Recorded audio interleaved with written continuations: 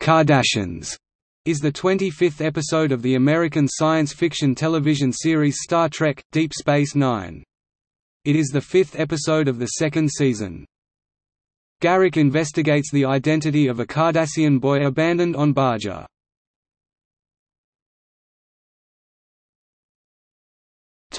Plot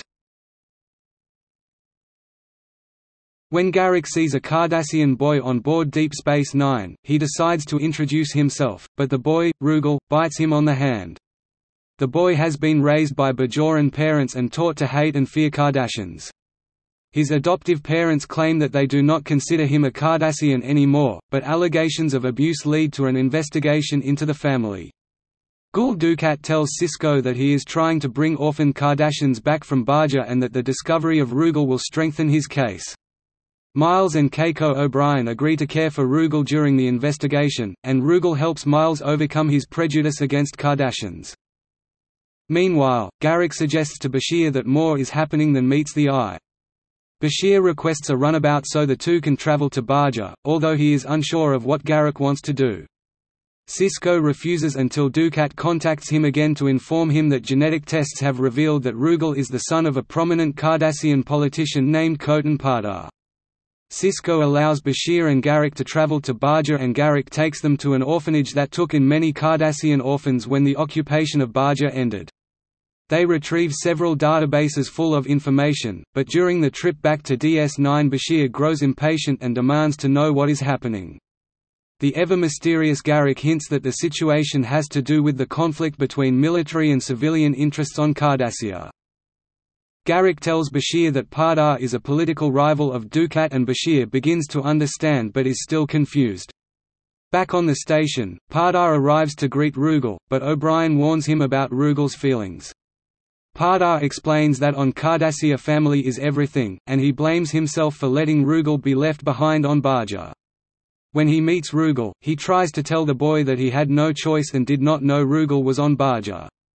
However, the boy does not remember him and calls Pardar a Cardassian butcher. Pardar is deeply wounded by Rugal's bitterness toward him. Regardless of what has happened, Pardar wants his son back, but Rugal's adoptive father refuses to give Rugal to him. The two of them approach Sisko to be a neutral arbiter and he accepts. Shortly thereafter Gul Dukat arrives on the station, claiming that he is there as a part of his quest to return the Cardassian orphans. During the hearing, Garak and Bashir's search for information on Rugal comes up empty, but they find the woman who took Rugal in at the orphanage, who remembers that a Cardassian woman attached to Terek Nor the Cardassian name for DS9 brought him to her.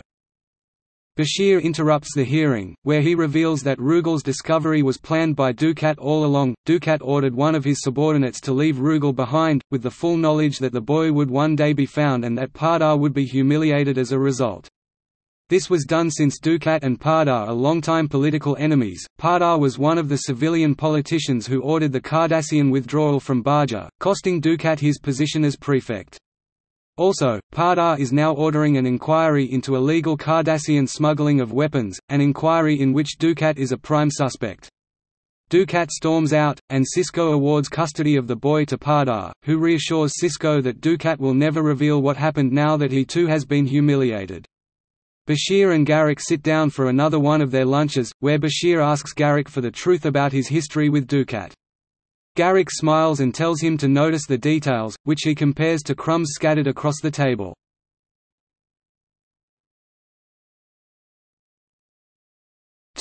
The Next Generation similarities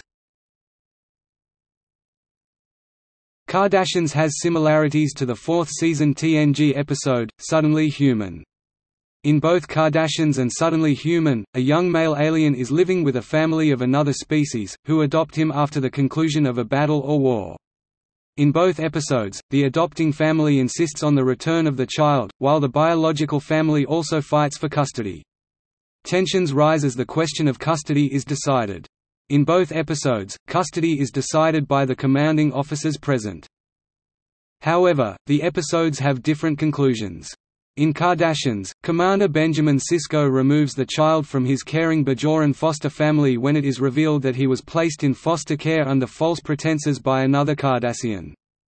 In Suddenly Human, Captain Picard returns the young man Jono, Jeremiah Rosser played by actor Chad Allen to his adopting father because the young man is old enough to decide for himself with whom he wishes to live, and because it is the only life he has ever known.